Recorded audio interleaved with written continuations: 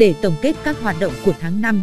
nhằm động viên cổ vũ phong trào thi đua lao động sản xuất trong những tháng tiếp theo. Chiều ngày 4 tháng 6 năm 2020, Công đoàn Công ty Than Dương Huy đã tổ chức lễ tổng kết tháng công nhân, tháng hành động về an toàn vệ sinh lao động năm 2020 và tuyên dương các tập thể cá nhân tiêu biểu. Dự hội nghị có đồng chí Đỗ Thị Ninh Hường, Ủy viên Ban chấp hành Tổng Liên đoàn, Phó Chủ tịch Thường trực Liên đoàn Lao động tỉnh Quảng Ninh, đồng chí Nguyễn Quang Tề, trưởng ban tuyên giáo Công đoàn Than khoáng sản Việt Nam, đồng chí Nguyễn Sơn Thủy, Chủ tịch Liên đoàn Lao động thành phố Cẩm Phả đơn vị kết nghĩa, các đồng chí lãnh đạo công ty, các trưởng phòng, quản đốc, chủ tịch công đoàn và trưởng tiểu ban nữ công các công đoàn bộ phận,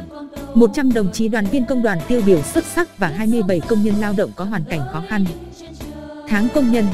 tháng an toàn vệ sinh lao động năm 2020,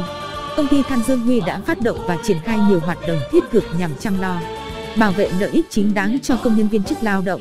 quan tâm đến đời sống, việc làm, thu nhập của người lao động.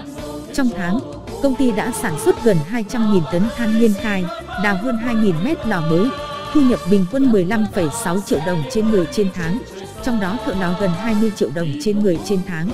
Công đoàn công ty đã đồng hành cùng doanh nghiệp trong mọi hoạt động sản xuất kinh doanh và công tác an toàn vệ sinh lao động,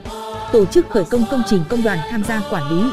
lắp đặt tời chờ người tại đường lò xuyên Việt mức cộng 38 với mục đích cải thiện điều kiện làm việc trong hầm lò, giảm sức lao động thủ công, tăng thời gian làm việc hữu ích, tăng năng suất để tăng thu nhập cho người lao động. Thăm hỏi, động viên kịp thời 3 phân xưởng xuất sắc, 27 công nhân có hoàn cảnh khó khăn.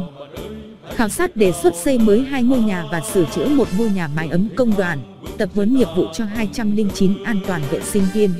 phối hợp thanh kiểm tra chuyên đề về công tác an toàn vệ sinh lao động, tổng số 36 cuộc.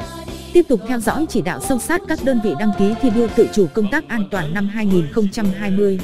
Phát biểu tại hội nghị, đồng chí Nguyễn Quang Tê, trưởng ban tuyên giáo công đoàn than khoáng sản Việt Nam và các đồng chí lãnh đạo công ty đã ghi nhận và biểu dương những kết quả đạt được trong tháng công nhân của công đoàn Than Dương Huy. Đồng thời khẳng định mục tiêu quan trọng nhất là để mỗi người công nhân đi làm đều có an toàn và thu nhập tốt.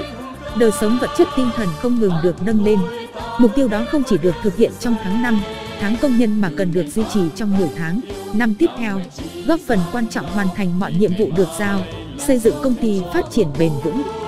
Nhân dịp này công ty đã khen thưởng cho 20 tập thể và 100 công nhân có thành tích xuất sắc trong tháng công nhân,